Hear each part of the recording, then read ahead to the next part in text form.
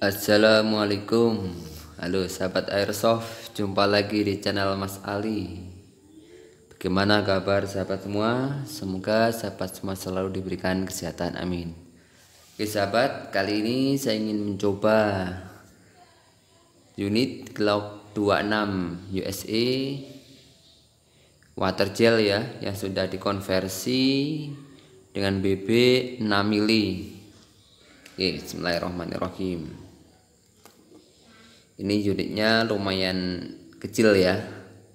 Mungkin sama Glock The Cobra M2000L hampir sama. Lebih besar ini sedikit.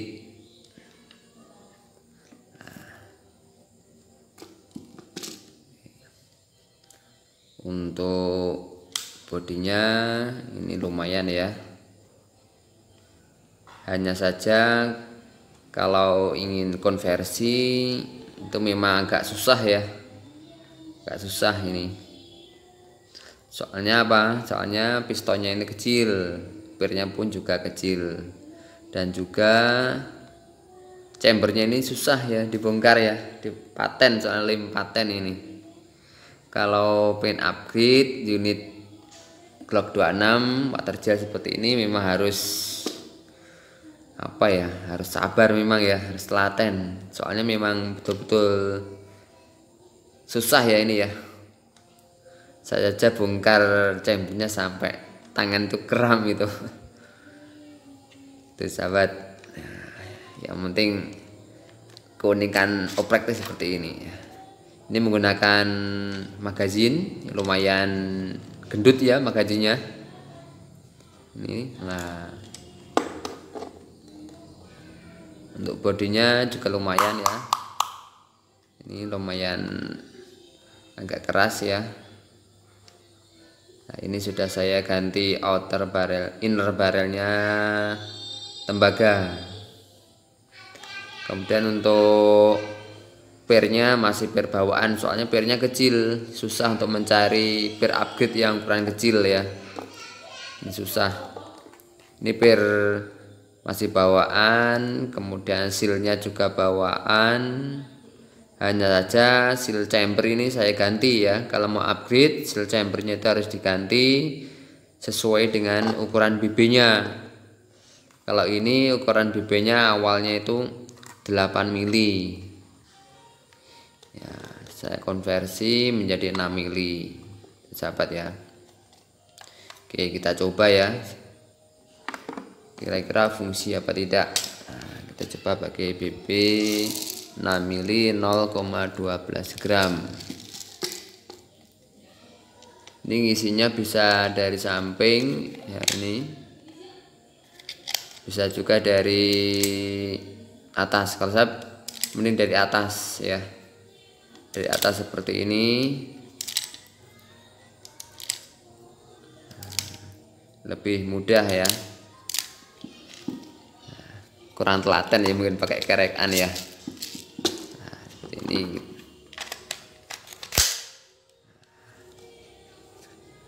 Kemudian ini ada slat locknya ya ini.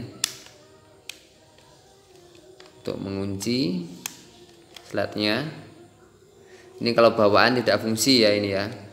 Kalau di upgrade ya harus dimodifikasi ya supaya slatnya fungsi nah pisirnya ini kalau dikasih plat itu ya lumayan bagus ya ini belakang pisirnya ini yang depan ada lubangnya seperti ini.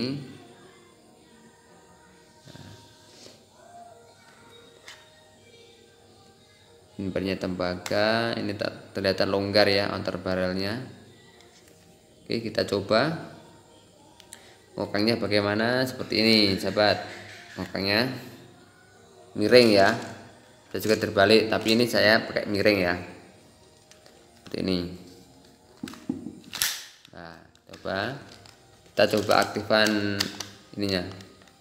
Nah, aktif ya. Slide locknya. Kita coba BB ada pada Oh BB tidak masuk. Ya karena posisi ini tadi dijungkir lagi ya. Ini nah, ini. Nah, itu sahabat ya. Berarti fungsi ya ini ya ini. Nah, slide locknya fungsi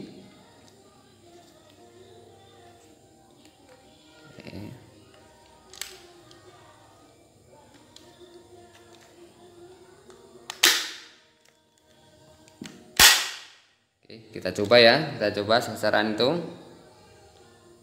Gelas aqua ya. Nah, seperti ini caranya. Kita coba. Shot pertama. Nah, kena. Kedua.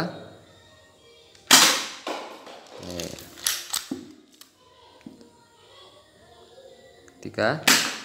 Oh ini powernya memang kecil ya karena pernya belum di upgrade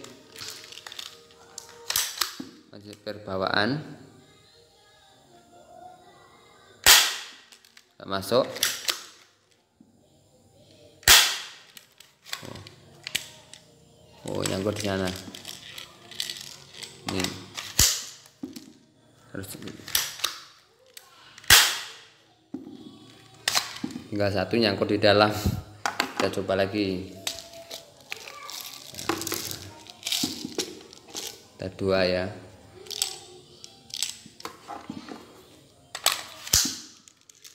Ini dapat miring ya. Posisinya miring ujungnya agak ke bawah. Nah, seperti ini. Udah masuk. Nah kali ini masuk ya ini ya tuh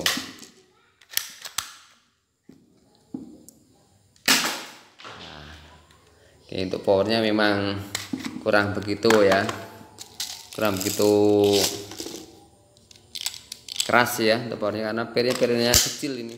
Kecil pendek dan juga karet silnya masih bawaan ya. Nah kena ya sobat ya fungsi. Nah untuk teman-teman yang mau upgrade unit ini ya Glock 26 memang harus telaten intinya harus telaten. Harus betul-betul ekstra ya ini. Karena bongkar chambernya ini yang paling susah itu. Oke mungkin itu ya sahabat ya. Sekedar review sedikit tentang unit. Glock 26 water gel BB 8 mili dikonversi menjadi BB 6 mili. Fungsi hanya saja powernya kurang ekstrim. Dan select locknya pun juga fungsi seperti ini. Ya memang tampilannya keren ya. Nih. Oke terima kasih. Semoga bisa menginspirasi sahabat semua. Assalamualaikum warahmatullahi wabarakatuh Salam satu kang tetap semangat